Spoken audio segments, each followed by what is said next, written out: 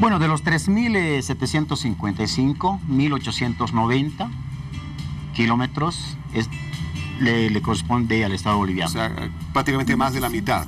Mm, el 70%. No, bueno, es impresionante. O sea, eh, sin duda el beneficio es inconmensurable. Sí, por eso lo que le toca a Perú, por ejemplo, son 340 kilómetros, un tramo más corto, ¿no? Y por eso Perú está seguro de que cuando nosotros ya estemos eh, en la mitad del, proyecto, Perú va a empezar, porque son 340 kilómetros. Por eso también eh, Perú le interesa eh, invertir en esos 340 kilómetros, que prácticamente ellos dijeron, para nosotros no, es nada. Lo que queremos es que consoliden el, proyecto, que haya financiamiento, como que ya va a haber, ¿no? Eh, y, el proyecto estará Hablábamos de que la inversión total, viceministro, asciende aproximadamente a 7 mil millones de dólares para la mm. totalidad de este proyecto. Un aproximado, sí. Aproximado. Mm. Tomando en cuenta que mm. la mayor parte del recorrido de esta vía férrea corresponde al territorio boliviano, me imagino que también la mayor parte de la inversión es eh, correspondiente a este territorio, ¿cierto? Ya tenemos financiado cierta parte de esta inversión,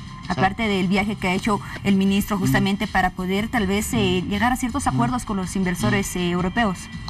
Bueno, para que eh, el pueblo boliviano se dé cuenta, este proyecto, este sueño del presidente Evo ya estamos empezando prácticamente, ¿no? Estamos actualmente ejecutando eh, lo que es Montero Burubulo, ¿no? Hay una empresa que se adjudicó, estamos con el tramo 1 con, con el tramo 2, prácticamente eh, es una realidad. Lo que después se va a buscar, después de este eh, financiamiento interno que estamos haciendo de Montero Bulúbulo, obviamente es los 7 mil millones de, dólares, una cifra aproximada, aproximadamente, ¿verdad? Pero eh, lo que nos interesa es, eh, es, seguir consolidando.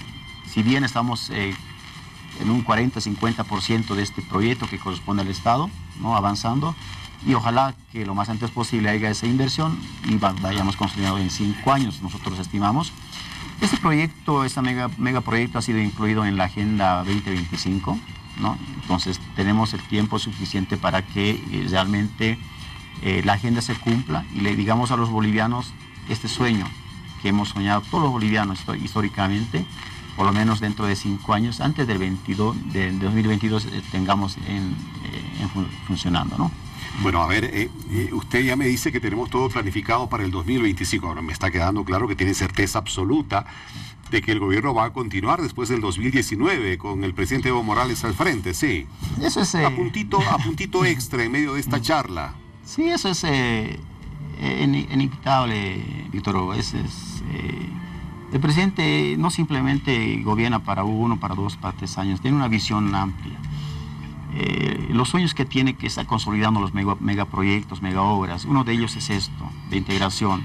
Y cómo los bolivianos podemos desmerecer, desconocer un, un, proyecto de, este, de, semejante envergadura donde que países se unen, países enteros ahora están acompañando a nuestro ministro, a nuestro presidente en consolidar un financiamiento que obviamente pues eh, y el pueblo es sabio va a reconocer este esfuerzo que tiene el presidente, esta visión de integración.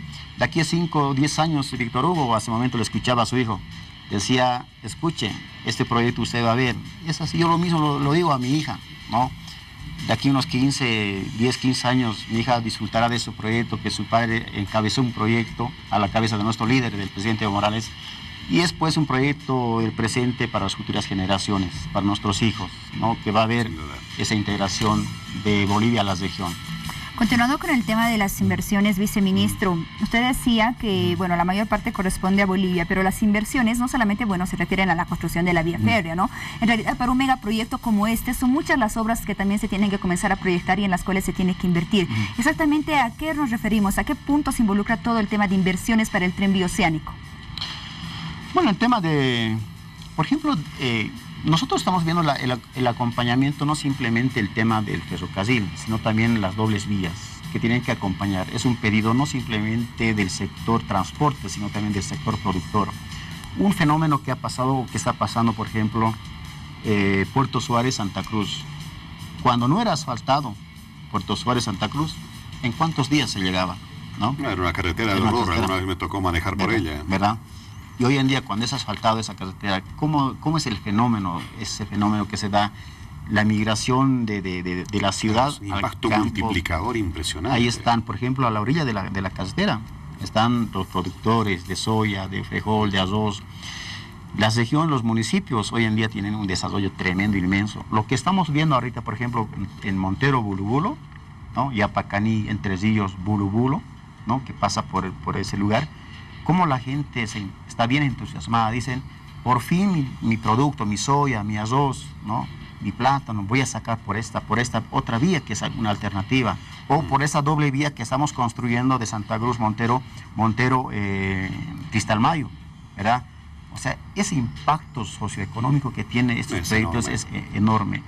Eh, yo, yo digo, eh, ciego es aquel, no que, aquel no que quiere ver este, estos proyectos importantes. Yo quisiera que aquella gente que se opone al proyecto que estamos encarando, que vaya a esas regiones, que vaya a esos lugares. Como la gente dice, por favor, este proyecto apresuren. Un, un, dato anecdótico le voy a dar, eh, Víctor Hugo. Hace, el año pasado tenía, teníamos un bloqueo de un sector eh, arenero que trasladaba arena para la empresa. Bloquearon porque querían un poco más de incremento de su, transporte. ¿Y sabe qué pasó? Todo, todo, el, todo el municipio se unió, todito, todo el municipio, organizaciones, juntas vecinales, cívicas, todo. Y lo conminaron al sindicato a que desista del bloqueo. Porque dijeron, es un proyecto del interés de nosotros, del Estado. Y ustedes no pueden seguir bloqueando perjudican el desarrollo. O sea, ¿Cómo es ese fenómeno en, los lugares, eh, Ya, van sintiendo, ¿no es cierto?, cómo otras poblaciones se van beneficiando con este tipo de proyectos y, la gente ya ansía tenerlos pronto en el lugar y evidentemente lo que, lo que rechaza es la resistencia a esa posibilidad de desarrollo. Me ha tocado en algún momento, hace algunos años, como parte de, una empresa en la que trabajaba de telecomunicaciones, pues estar en cada pueblito del territorio boliviano, de, la frontera sur a la frontera norte, pero en cada extremo del país. Me ha tocado conocer esa realidad viajar 12, 14 horas, 16 horas por carreteras eh, en algún momento eh, realmente en mal estado, pero que ahora se va, se va viendo remozadas.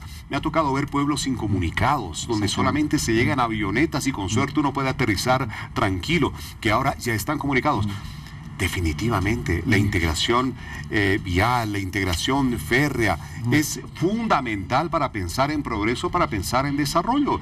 Eh, hábleme de esas dobles vías que, se están trabajando. A ver, en este momento ya disfrutamos de la doble vía La Paso Duro que nos permite ir tranquilitos por la carretera y llegar sanos a destino. ¿Qué otras dobles vías se están construyendo en este momento? en el país? Cochabamba, Santa Cruz Cochabamba, una integración. Lo que el presidente ha proyectado, una integración caminera hoy en día se está consolidando.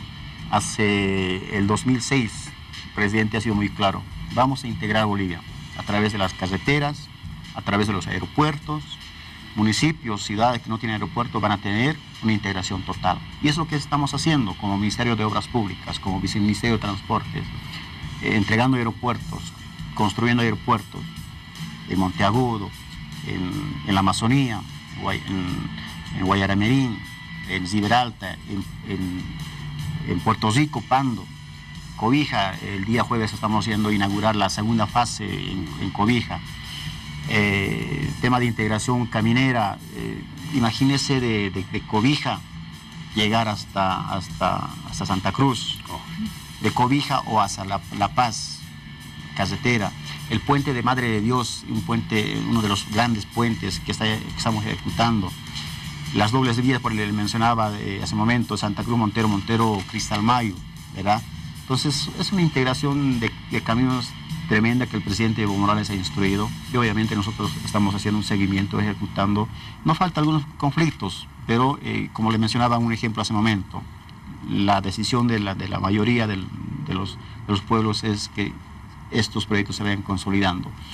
En relación al tema del, tren bioceánico, hace un momento yo le comentaba extra cámara, Víctor Hugo, ¿cómo va a generar nuevos profesionales? Va a consolidar. Hoy en día el Estado boliviano no tiene profesionales en, temas de ferrocarril.